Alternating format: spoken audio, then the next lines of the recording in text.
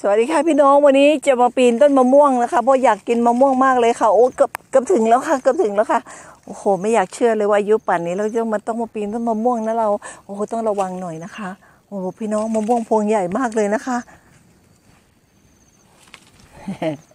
ผู้เล่นนะคะ พี่น้องอายุปูนนี้แล้วไม่กล้าปีนหรอกค่ะ ต้นมะม่วงนะคะ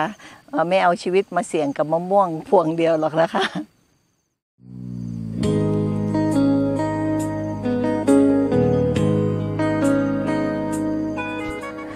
วัสดีค่ะพี่น้องที่รักทุกๆท่านนะคะ วันนี้อย่าตกใจนะคะ หาเรื่องสนุกสนุกให้พี่น้องได้ดูกันนะคะ มาพบกับรายการสุภาษิตสกิจใจนะคะ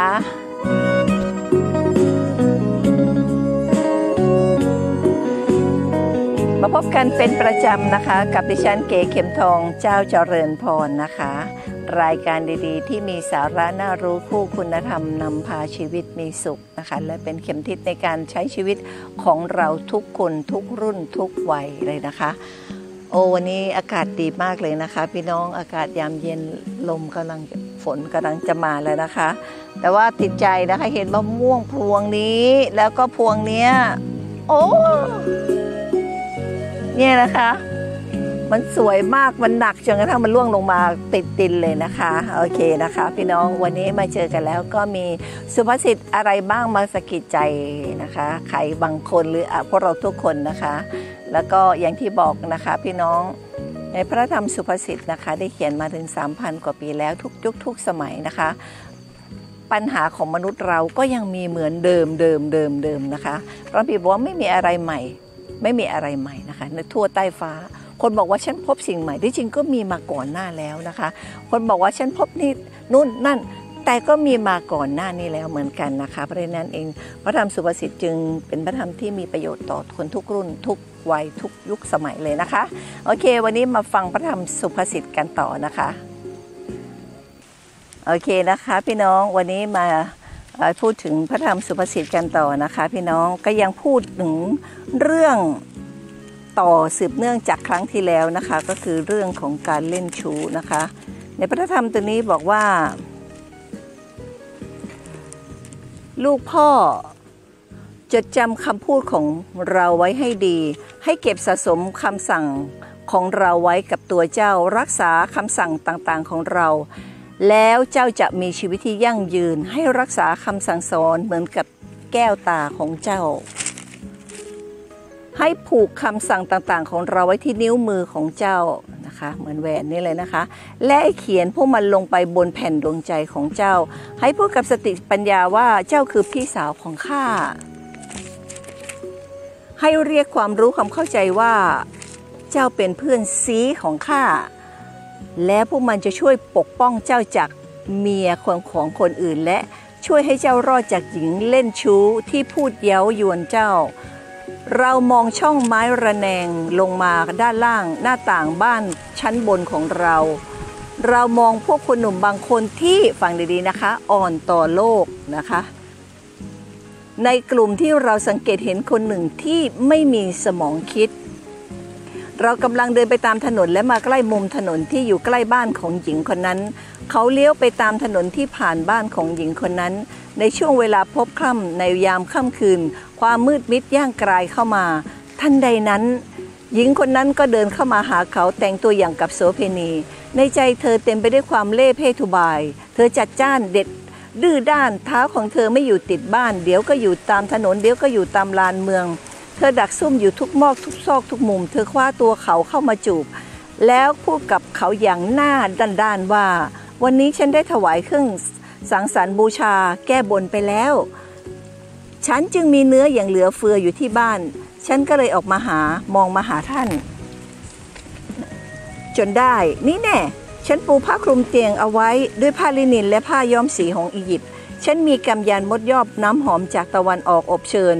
อบเชย ฉันได้พรมพวกมันไว้บนที่นอนมาเถิดฟังดีๆนะคะ วลีเด็ดนะคะ ของผู้หญิงที่ชอบชักชวนพาให้ทำชั่ว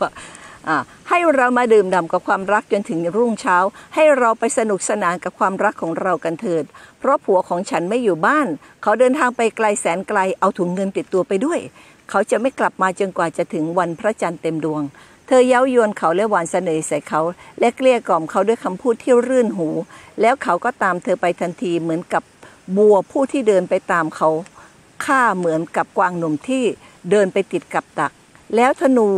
ลูกธนูแทงทะลุเข้าไปในตับของมัน เขาเปรียบเสมือนนกที่รีเข้าไปสู่ ตาข่าย เขาไม่รู้ตัวเองว่าเขาจะต้องชดใช้ความผิดครั้งนี้ด้วยชีวิตนะคะอ้าวเดี๋ยวก่อนนะ ด้วยชีวิตไปถึงไหนแล้ว ดังนั้นฟังดีๆนะคะ ลูกลูกเอ๋ยฟังเราให้ดี ให้ตั้งใจฟังคำพูดจากปากของเราให้ดี อย่าปล่อยให้ใจของเจ้าหันไปในทางของเธอ อย่าได้พลัดหลงเข้าไปในทางของเธอ เพราะเธอได้ทำให้ผู้คนล้มตายมามากแล้ว มีคนอื่นอีกมากมายที่ตกเป็นเหยื่อของเธอ บ้านของเธอนั้นเป็นหนทางไปสู่หลุมฝังศพ ห้องนอนของเธอก็นำไปสู่แดนคนตายนะคะ พระธรรมตอนนี้ก็พูดตรงไปตรงมานะคะ ก็บอกเล่านะคะ ความอ่อพูดถึงความเป็นความเป็นสังคมนะคะของคนแต่ละยุคแต่ละสมัยนะคะ ก็อย่างที่บอกแล้วบอกอีกนะคะ ว่าพระคัมภีร์เนี่ยเขียนมา3,000กว่าปีแล้วนะคะ แต่คนเล่นชู้ก็มีอยู่ทุกยุคทุกสมัยนะคะ เมื่อกี้นะคะ ก็อย่างที่บอกนะคะว่า คนที่อ่อนต่อโลกนะคะ ฟังดีๆนะคะ ไม่ว่าจะเป็นผู้หญิงหรือผู้ชายด้วยนะคะ คนที่อ่อนต่อโลกก็จะตกเป็นเหยื่อเป็นเหยื่อนะคะ ฟังดีๆนะคะ อย่างที่เราได้ดูข่าวนะคะว่าบางทีการเล่นชู้เมื่อก่อนเนี่ยก็เป็นการแบบรอบเล่นชู้กันก็ก็ก็เราเราก็รู้แค่นั้นนะคะ แต่ในปัจจุบันนะคะ การเล่นชู้เนี่ยบางทีก็แอบแฝงไว้ด้วยอะไรอีกมากมายอย่างที่เคยบอกนะคะ บางคนเนี่ยเล่นชู้กันแล้วก็บางคนหลอกไปเหมือนกับมีชู้กัน แล้วก็ถ่ายคลิปไว้เอากลับมาแบ็กเมย์นะคะอ่าอยากได้อะไรก็ต้องไปหาไปให้เขาไม่งั้นคลิปจะโดนเอาไปประจานนะคะ เรียกว่าคนต้องคนดูกันไปทั่วโลกเลยนะคะ แล้วแล้วเราเราก็ไม่สามารถที่จะ เอามันกลับคืนมาได้นะคะ เหมือนชื่อเสียงเราก็ต้องเสียไปด้วยนะคะ บางคนอายุยังน้อยนะคะ ฟังดีๆนะคะ คนที่อ่อนต่อโลกนะคะ นั่นก็คือการที่เล่นชู้กับคนอื่นคำว่าเล่นชู้พี่น้องขอช่วยตีความหมายอย่างนี้ดีๆนะคะว่าการเล่นชู้เนี่ยหมายถึงบางทีเราไปไปไปหลับนอนหรือว่าไปมีความสัมพันธ์กับเมียของคนอื่น หรือกับสามีคนกับคนอื่น บางทีมันก็ไม่ได้ใช่อย่างนั้นนะคะ การเล่นชู้นั่นก็หมายถึง ใครก็ได้ที่เราไปมีความสัมพันธ์กับเขานะคะ ในเรื่องของเพศสัมพันธ์นะคะ โดยที่ยังไม่ได้แต่งงานด้วยนะคะ พระคัมภีร์ก็ใช้คำว่าเป็นการเล่นชู้ทั้งสิ้นเราบอกเอาก็แฟนเราอะนะก็มันรักกันนะนะก็ชอบกันเดี๋ยวก็จะแต่งกันอยู่แล้วไหนๆก็จะแต่งละอ๋อก็อยู่กันเป็นผัวเมียกันไปก่อนนะคะ ที่จริงในตามหลักพระคัมภีร์นี้ไม่ได้นะคะ พี่น้องเมื่อใดก็ตามที่เรายังไม่ได้แต่งงานกัน เรายังไม่ได้จดทะเบียนสมรสถูกต้องตามกฎหมาย หรือว่าไม่ได้ถูกต้องตามประเพณี ถือว่ายังไม่ได้ใช่เป็นสามีภรรยานะคะ นั่นก็เรียกว่าการเล่นชู้เหมือนกันเหมือนกันหมดเลยนะคะบางคนก็เขาเรียกว่าอะไรนะเขาบอกว่าก็อยู่กันก่อนแต่งลองดูก่อนนะถ้าไปได้ก็เอาไม่ได้ก็เลิกกันไปอะไรอย่างเงี้ยนะคะสำหรับพระคัมภีร์แล้วก็ไม่ได้นะคะ พี่น้อง หนุ่มสาวฟังดีๆนะคะ ฟังฟังนะคะ ฟังคุณป้าเก๋ ฟังคุณแป้ป้าเก๋ คุณแม่เก๋จะบอกนะ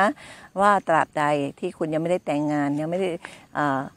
ถูกต้องตามกฎหมายหรือถูกต้องตามประเพณี ก็อย่าไปมีความสัมพันธ์กันก่อนนะคะ เพราะฉะนั้นชีวิตของคุณจะไปแบบเขาเรียกว่าเริ่มไม่สวยเลยนะคะ ก็จะไม่ได้รับการอวยพระพรจากพระเจ้านะคะ และอย่างที่บอกนะคะว่า พระธรรมสุภาษิตเนี่ยกษัตริย์โซโลมอนนะคะท่านได้เขียนสอนราชเกี่ยวกับ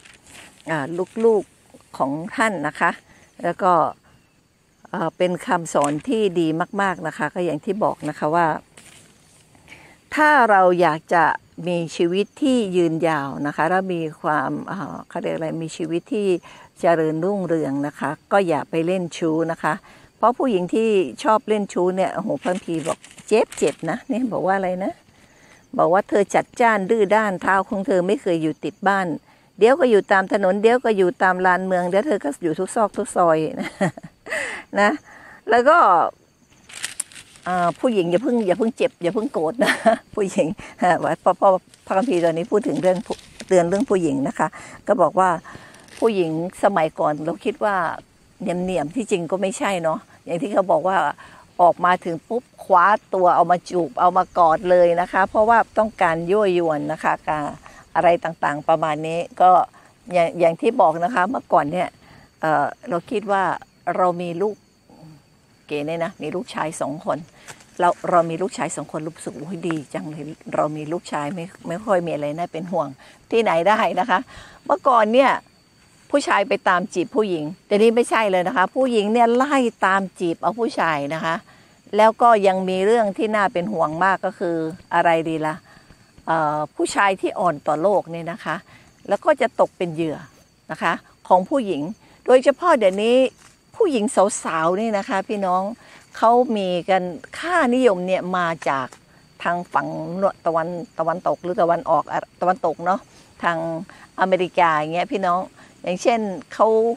เขาก็จะมีการแบบคือถ้าใครเป็นเเป็นสาวบริสุทธิ์อยู่เนี่ยอู้เป็นเป็นเรื่องที่น่าขบขันนะพี่น้องเขาจะรู้สึกว่า virgin อยู่เหรอเอ้ยทำไมยังบริสุทธิ์อยู่เหรอโอ้ได้ไงอะอ่าเขาก็จะมีการล่าการนอนกับผู้ชายนะคะว่า การนอนกับผู้ชายแล้วก็เหมือนมีทำแต้มมีทำคะแนนกันด้วยนะ โอ้ใครเยอะได้เยอะกว่าใครได้อะไรกว่า ก็เอามาอวดกันพี่น้อง แล้วค่านิยมนั้นเนี่ยไม่น่าเชื่อว่ามาถึงประเทศไทยเราอย่างรวดเร็วเลยนะคะเพราะฉะนั้นเด็กสาวนะคะทะเลาะตบตีแย่งชิงกันก็คือแย่งชิงผู้ชายกันนะคะ เห็นคลิปนี้ใจไม่ดีเลยฮะนะอ่าบางทีเห็นบางคนดูแล้วหัวเราะชอบกันหัวเราะชอบใจว่าเห็นผู้หญิงตีกัน แย่งผู้ชายนะไอเราดูแล้วเศร้าใจนะคะ ราะนั้นเองนะคะก็อยากจะบอกนะคะว่าการเล่นชู้นะคะเป็นความบาปนะคะ แล้วไม่เคยทำให้ใครจะเริญรุ่งเรืองนะคะก็อย่างที่บอกตอนตอนนี้คุณยังเด็กอยู่คุณยังอายุน้อยอยู่ คุณทำด้วยความสนุกสนานเพลิดเพลินเมามันอะไรของคุณก็ไม่รู้นะนะแต่ใครจะรู้ว่าวันวันหนึ่ง อีกสักวันหนึ่ง คุณอาจจะได้เป็นผู้นำประเทศ คุณอาจจะได้ไปอยู่ในตำแหน่งหน้าที่การงานดีๆนะ แล้วประวัติของคุณที่มีอยู่นี่นะคะ หรือว่าคลิปบางคลิปของคุณที่มันถูกร่อนออกไปแล้วเนี่ยมันอาจจะกลับมายอกย้อนทำให้ชีวิตของคุณเจ็บปวดทำให้ชีวิตของคุณพังก็ได้นะคะ แล้วเพราะฉะนั้นก็อยากจะเตือนสติไว้ว่า จะทำอะไรคิดก่อนคิดดีๆนะคะ เพราะว่าพระคัมภีร์บอกแล้วนะคะว่า คนที่ทำเช่นนี้แล้ว อืมว่ายังไงนะคะ บ้านของเธอนั้นเป็นทางไปสู่หลุมฝังศพ ห้องนอนของเธอนำไปสู่แดนตายนะคะ เพราะเธอทำให้ผู้คนล้มตายมาแล้วมากมายนะคะ คนบางคนก็อย่างที่ว่านะ ตามล่าชีวิตคนอื่น ด้วยกันด้วยสิ่งสิ่งนี้นะคะ วันนั้นก็ดูข่าวข่าวหนึ่งนะที่บอกว่าผู้ชายคนหนึ่งนะคะ ที่ต้องการซื้อบริการทางเพศเนี่ยนะคะ ก็หลอกเข้ามาหลอกเข้ามาเสร็จแล้วก็ข่มขืน ข่มขืนแล้วก็มีแถมยิงปล้นต่อเนี่ยเขามีทรัพย์สมบัติอะไรก็กวาดเอาเรียบเลยนะคะ บังคับให้เสพยาทำให้เสพยาแล้วยังไม่พอให้เป็นนกต่อ ไปล่อคนอื่นมาอีกนะคะ เป็นเหมือนเขาเรียกทำบาปซ้ำซากซ้ำซาก แต่รู้สึกว่าดีใจด้วยนะคะตำรวจก็จับได้แล้วนะคะ ก็อยากจะเตือนว่าสังคมเนี่ย มีคนอย่างนี้อยู่อีกเยอะแยะมากมาย เพราะฉะนั้นอย่าไว้ใจทาง อย่าวางใจคน เดี๋ยวคุณจะจนใจเอง นั่นก็คือคุณจะแย่นะคะ ชีวิตคุณจะแย่ก็อยากจะฝากไว้นะคะนะว่าอออย่างที่นี่นะคะ อ่านไปแล้วก็พี่น้องก็จำเอาก็แล้วกันนะคะพระพีก็บอกว่า ผู้หญิงคนที่มีใจแบบนี้นะคะ หรือว่าผู้ชายก็ตามนะคะ ก็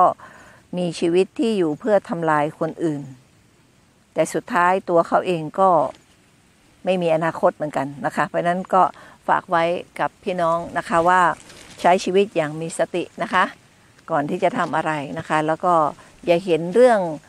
การมีเพศสัมพันธ์ หรือว่าการที่เราไปมีความสัมพันธ์คุณมันเป็นเรื่องสนุกสนานนะคะ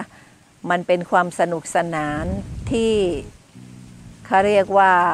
ความหายนะจะตามมานะคะ พี่น้องฝากไว้นะคะ ขอให้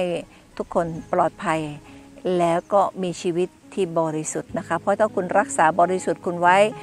ไม่ใช่เรื่องน่าอายนะคะ แต่เป็นเรื่องที่น่าภาคภูมิใจที่คุณจะเอาไว้สอนลูกสอนหลานของคุณนะคะ แล้วก็จิตใจของคุณก็จะ มีแต่ความสุขช่วยชีวิตไม่ต้องกลัวว่าใครจะมาหักหลังคุณทีหลังนะคะสำหรับวันนี้จากลากันไปก่อนนะคะ ขอพระเจ้าทรงอวยพระพรทุกๆคนนะคะ ให้พ้นจากความคนที่ชั่วร้ายที่จะมาคิดทำลายนะคะ ขอพระเจ้าพระพรนะคะเอาละค่ะวันนี้เสียดายอยู่เรื่องหนึ่งพี่น้องลืมเอาพริกเกลือมาพูดเล่นนะคะ เขาบอกว่าห้ามโลภของเพื่อนบ้าน อันนี้ของเขาไม่ใช่ของเรานะคะ เอามาชมเป็นขวัญตาก็พอแล้วนะคะสำหรับวันนี้ ถ้าพี่น้องชอบนะคะ ช่วยอย่าลืมนะคะ ช่วยกดไลค์กดแชร์ กดติดตาม กดกระดิ่งไว้นะคะก็เป็นกำลังใจให้ซึ่งกันและกันนะคะ ขอพระเจ้าพระพรนะคะ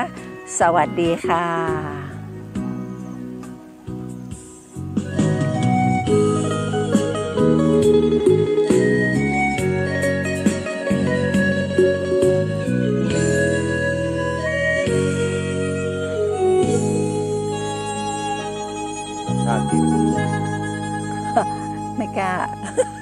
เดี๋ยวฟันหัก